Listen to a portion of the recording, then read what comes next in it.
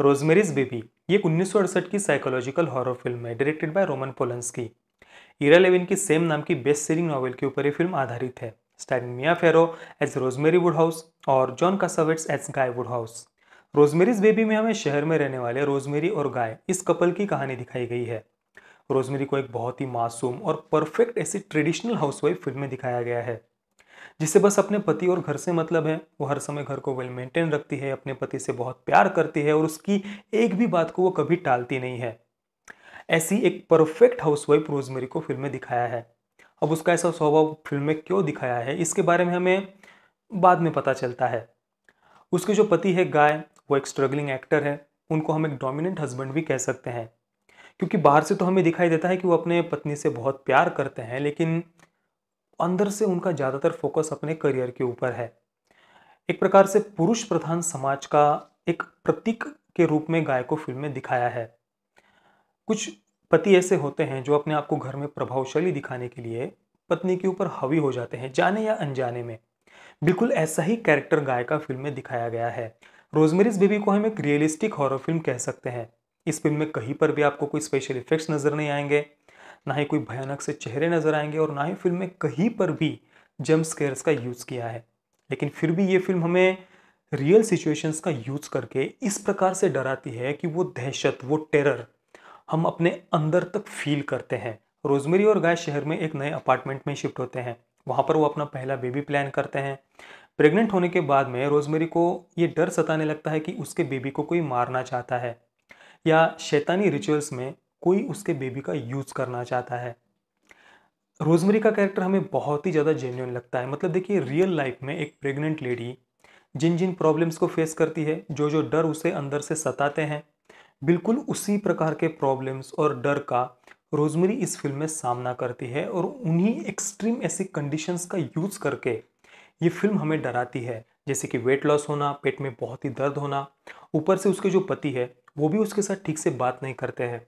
उनके जो नेबर्स है मिस्टर एंड मिसेस कास्टावेट्स वो भी उनके घर में बार बार बार बार आकर रोजमेरी को परेशान कर देते थे।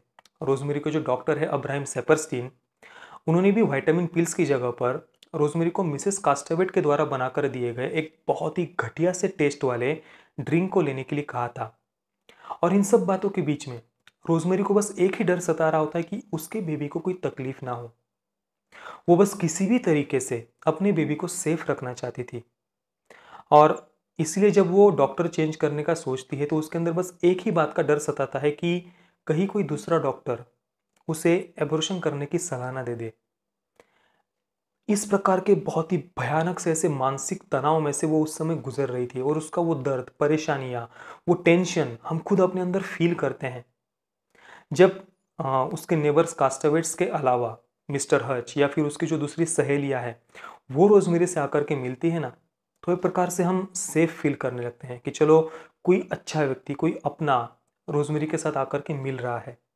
इस प्रकार का अटैचमेंट कनेक्शन हम रोजमेरी के कैरेक्टर के साथ फ़िल्म में फील करते हैं, महसूस करते हैं। जब गाय रोजमेरी से कहता है कि चलो हम बेबी प्लान करते हैं, उसके बाद में जब रोजमेरी को पता चलता है कि वो प्रेग्नेंट है, उस समय एकदम बच्चों की तरह रोजमेरी का खुश हो जाना। उसके बाद में जब एक दिन सुबह सुबह रोजमेरी उठती है तो उसको अपने, उसके पूरे शरीर पर नाखूनों के निशान दिखाई देते हैं। और उसे पता चलता है कि उसके साथ संबंध रखने के लिए ज़बरदस्ती की गई है। लेकिन फिर भी वो गाय के ऊपर नाराज़ नहीं होती है। जब कास्टावेट्स के द्वारा उसे एक डिज़र्ट दिया जाता है खाने के लिए उन दोनों को तो उसे वो डिज़र्ट पसंद नहीं आता है, वो और वो नहीं खाती है। तो एकदम से गाय नाराज़ हो जाता है कि वो क्यों नहीं खा रही है। तो उसे खुश करने के लिए वो डेजर्ट खाने लग जाती है। उसके बाद में जब डॉक्टर चेंज करने की बात आती है, घर में पार्टी रखने की बात आती है तो गाय हमेशा उसे मना करता रहता है। इतना सब कुछ होते हुए भी रोजमेरी बिल्कुल उसके ऊपर नाराज़ नहीं होती है और उसे समझाने की कोशिश करती है और अंदर ही अंदर वो तड़पती रहती है, घुटती रहती है। और इन सब बातों की वजह से सच में हम रोजमेरी के कैरेक्टर के प्यार में पड़ जाते हैं। बहुत ही ज़्यादा खूबसूरती के साथ उसका कैरेक्टर डेवलपमेंट फ़िल्म में किया गया है। और इसीलिए रोजमेरी के साथ क्या होगा, ये बात हमेशा हमें अंदर से डराती रहती है फ़िल्म देखते समय। इन सब बातों के अलावा एक और बात जो मुझे इस फ़िल्म की सबसे बढ़िया लगती है, वो ये कि यहाँ पर जितने भी निगेटिव कैरेक्टर्स है फ़िल्म में, उनका जो रिएक्शन है, वो हमें सबसे ज़्यादा सरप्राइज़ करता है। मतलब देखिए, जब जब भी हमें ऐसा लगता है कि रोजमेरी को किसी नेगेटिव कैरेक्टर से कोई खतरा है और हम अंदर से बहुत ही डर जाते हैं। ऐसा लगता है, पता नहीं अब रोजमेरी के साथ क्या होने वाला है। इस प्रकार से जब हम हम अंदर से डर जाते हैं, उस समय वो निगेटिव कैरेक्टर आकर के बहुत ही शांति से, रोजमेरी के साथ प्यार से बात करने लगता है। और ये बात सच में हमारे लिए बिल्कुल ही अनएक्सपेक्टेड रहती है। फ़िल्म में वैसे कोई ज़्यादा सस्पेंस नहीं है। हमें पहले ही पता चल जाता है कि यहाँ पर कौन कौन निगेटिव कैरेक्टर है और कौन ये सब कर रहा है। हमें पहले ही पता चल जाता है। लेकिन फिर भी ऐसी ऐसी बातें फ़िल्म में रिवील होती जाती है, ऐसे ऐसे कुछ सरप्राइज़ हमें ये फ़िल्म देती जाती है ना, जो हमारे लिए बिल्कुल ही अनएक्सपेक्टेड रहते हैं, जो हमने बिल्कुल सोचा नहीं होता है। और इस फ़िल्म का जो एंडिंग है, वो तो सच में बहुत ही ज़्यादा सरप्राइजिंग और शॉकिंग और अनएक्सपेक्टेड है। यानी इन सभी नेगेटिव कैरेक्टर्स का शांत रहना, प्यार से बात करना, ये हमें सबसे ज़्यादा परेशान करता है। क्योंकि हम समझ ही नहीं पाते कि आखिर इनके दिमाग में चल क्या रहा है। आजकल जितनी भी हॉरर फिल्म्स बनती है, उनमें ज़्यादातर स्पेशल इफेक्ट्स का यूज़ करके, डरावने चेहरे दिखाकर जंप स्केयर्स का यूज़ करके लाउड म्यूज़िक का उपयोग करके हमें डराया जाता है। लेकिन रियल सिचुएशंस का यूज़ करके डराने वाली हॉरर फिल्म्स आजकल बहुत ही ज़्यादा कम बनती है।